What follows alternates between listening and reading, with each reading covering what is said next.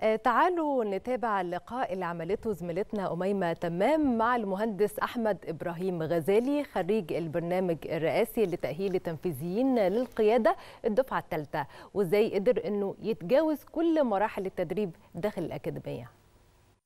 أهلا بكم مجددا مشاهدينا الكرام وعودة مرة أخرى إلى منتدى شباب العالم في ساعته الأخيرة وفي نسخته الرابعة. ها هو قد شرف على الانتهاء ينضم إلينا ومعكم أيضا المهندس أحمد إبراهيم غزالي خريج البرنامج الرئاسي تأهيل التنفيذيين للقيادة الدفعة الثالثة. أهلا بحضرتك. أهلا بيك يا فندم. فرصة سعيدة جدا. مبروك التخرج. الله يبارك في عمرك يا فندم. أهلا وسهلا بحضرتك. يعني عايزين نعرف من حضرتك يعني برنامج التأهيل يعني أضاف لحضرتك إيه النهارده في يوم التخرج؟ ما هي محصلة هذا التأهيل؟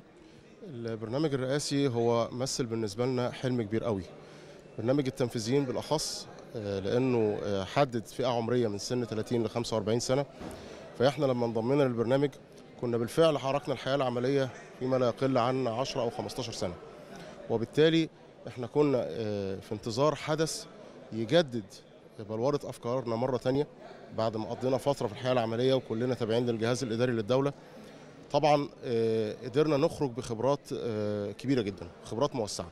البرنامج راعى إن هو يحط أكتر من جهة تشتغل مع بعضها في نفس البرنامج في فترة معايشة كاملة لمدة سنة.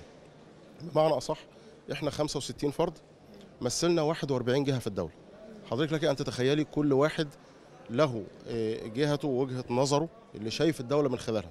أنا مثلا في قطاع البترول فشايف الدولة من وجهة نظر قطاع البترول. في البرنامج من خلال فترة المعايشة شفت 41 جهه في الدولة إزاي بيتم من خلالهم صنع القرار. وده اللي, كان سيادة الرئيس معني بيه في أكتر من مناسبة لما قال إحنا عايزين نعد رجال دولة. فراجل دولة لازم يبقى عارف إزاي بيصنع القرار إزاي أجهزة الدولة بتتناغم مع بعضها علشان في الآخر توصل للنتائج المرجوة. وده أكبر حاجة حصلنا عليها من البرنامج.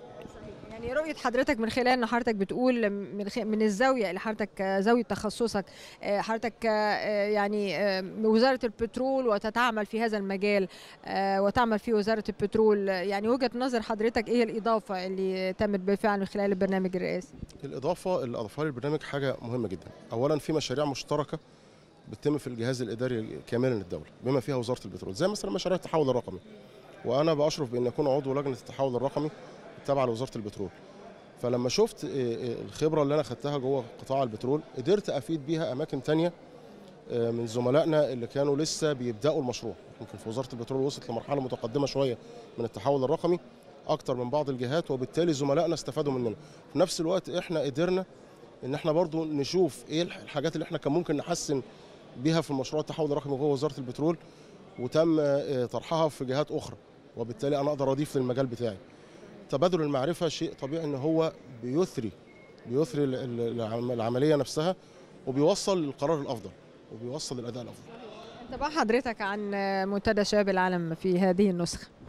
فرصة في منتهى الجمال، فرصة تمت طبعا يمكن حرمنا العام الماضي من المنتدى نتيجة ظروف الجائحة ولكن النهارده الحمد لله رب العالمين بفضل ربنا قدرنا مرة ثانية إن إحنا نتواصل وشباب العالم جاء وشاف مصر قد إيه بتتغير سنة عن سنة بتتغير للأحسن.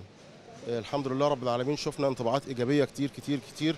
ويمكن الختام النهارده الحفل الجميل ده اللي شرف بحضور فخامة الرئيس وقيادات الدولة كلها أثبت للعالم قد إيه إن الحمد لله إحنا ماشيين على الطريق الصحيح. الحمد لله شكرا جزيلا لحضرتك مهندس أحمد إبراهيم غزالي خريج البرنامج الرئاسي لتأهيل التنفيذيين للقياده الدفعة الثالثة شكرا جزيلا لحضرتك. شكرا جدا. شكرا لكم أيضا مشاهدينا الكرام وعودة إلى الاستوديو.